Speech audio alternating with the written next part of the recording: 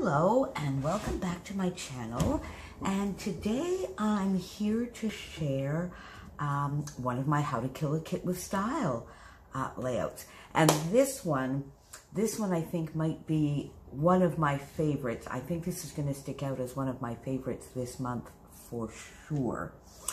Um, so the first thing I want to tell you yesterday I'm having a bit of a stressful week but there you go. So scrapbooking to the rescue. And yesterday, my awesome, the awesome new stencils, the three pack from Paige Taylor Evans arrived. And so I had to, had to start using it and had to get it on a page. So Kelsey, I dug out this beautiful Heidi Swapp um, texture paste that was in my uh, goodie bag from you and therefore in my Kill a Kit with Style for August and I use this lovely stencil. So my background here is just some Vicki Boutin Foundations paper because when I started, I wasn't sure whether I wanted to do a little bit of watercoloring underneath or maybe some misting on top. But when I used this stencil in three different places with this lovely paste that has just a lovely little shimmer to it. Can you see that? I hope the camera is picking it up. It's just beautiful. Really, it doesn't need anything else. So, my foundations paper, this gorgeous stencil in three different places, and that sort of gave me, and I already had the idea that I wanted to um, work some pattern paper down the side here, but some pattern paper that I really love that I wanted to show um, and then have another area be the focal point for my photo. So I took this um, paper from, I believe this is from Whimsical. Yeah, from Whimsical. And if you recall when I did my kit share, I said I might want to try and do some fussy cutting out here.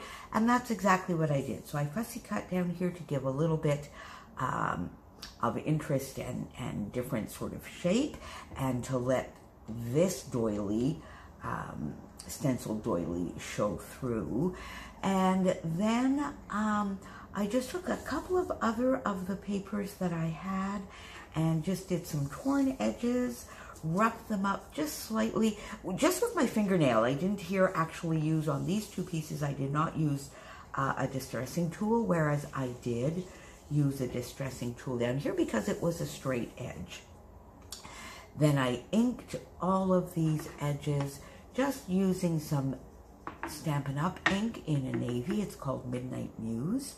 Uh, so I inked up this lovely hexagon paper uh, and these two on the side. And I thought that just gave some fun little interest.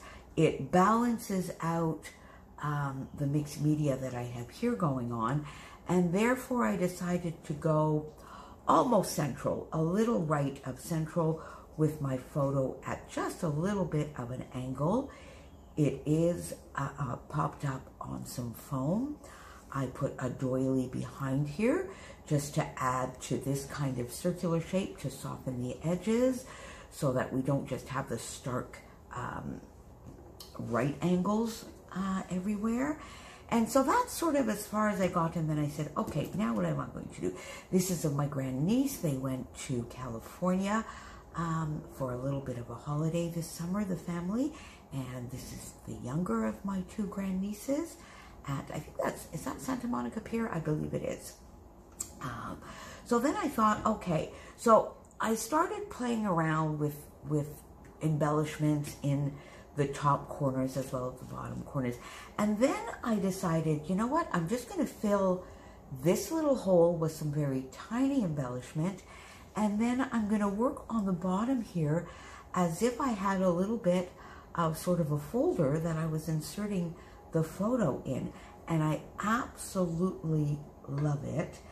And going on from now, the challenge that Christy had given us in the Secret Not Secret Kit Club party, I found this didn't really need a title.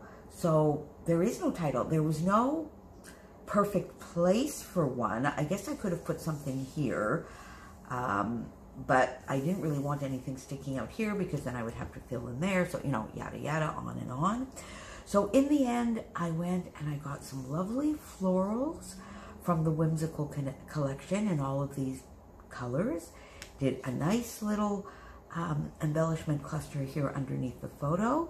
Um, some of the, the areas of these are on pop dots. The leaves here are flat. Um, and I just, as I mentioned, framed sort of the bottom so that I could insert the photo.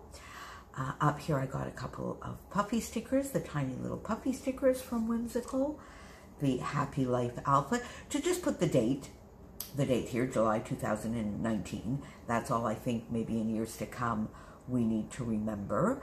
Um, and then again, some of those little tiny puffy stickers from the Whimsical collection that I added here. Hello, Wander.